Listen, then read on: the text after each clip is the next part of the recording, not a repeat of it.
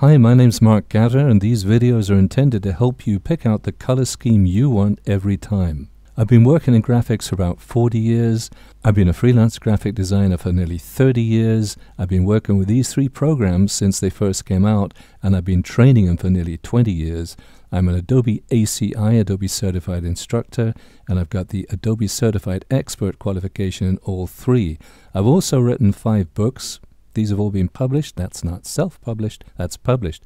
And I've got my own company. This is it, Tunnel Vision Ltd. And that's the website.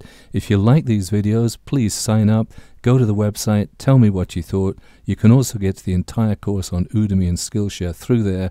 Anyway, have fun. So here I am in one of my favorite programs, Adobe InDesign CC, and I'm going to show you how I pick out color schemes for my work. Now I think this is the best method and I've saved it until now because I wanted you to watch the other videos, of course.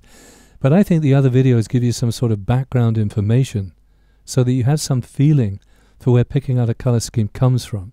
But I think this is way better. And I haven't seen this particular method, well, what I'm going to end up showing you in books. The tools, yeah, but the particular way I'm going to use it. So first of all, I'm going to place an image onto the page, File, Place, and this one's called Derwent. And it's a beautiful lake not too far from where I live. And in fact, I was walking my dog there about an hour ago. It's a hard life. So it's still selected, and I'm going to go and get the eyedropper tool. This one. And if I click on the image with the eyedropper tool, it picks up the color that I clicked on. So this shade of blue is now showing here and here. And if I go to swatches, it's showing here. And if I click on the options button and say new color swatch, it's showing here as well. Now that's an RGB image, so it's giving me RGB sliders. If I wanted to convert that to CMYK, I would click here and then scroll up one, and there's CMYK. And that gives me a really good breakdown to two decimal places of the ink colors CMYK that are used to produce this particular color.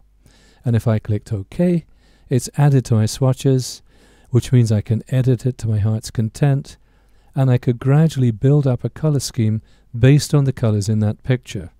Might take a while, but I could do it. Here's a quick way. If I click on the color theme tool, which is at the top of this flyout, and that's a bunch of colors I picked from a different image a while ago, now I'm just going to click on the image anywhere. And I get five colors that come from this image. And if I click on that arrow, I've got variations I could choose instead. If I click on the swatch icon, they're all immediately added to my swatches window as CMYK tints. They're already converted. How about that? And if I clicked on this icon, they'd be added to my Creative Cloud library.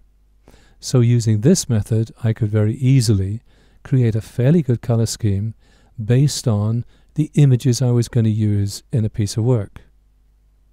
There's a couple of other ways I could use it as well. I'm going to unload the color theme tool by clicking on the selection tool and then click on it again.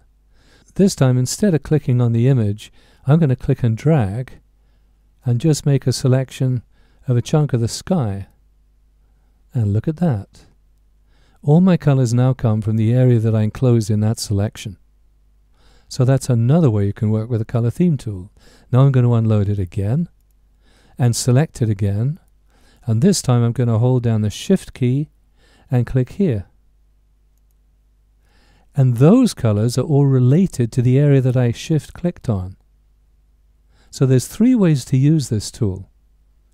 Now those I've seen in books. But this particular twist that's coming up next, no, I haven't. Well, that's it. I hope you enjoyed the vid. I hope it was useful to you. If so, please do go visit my website. Tell me what you thought. Bye for now.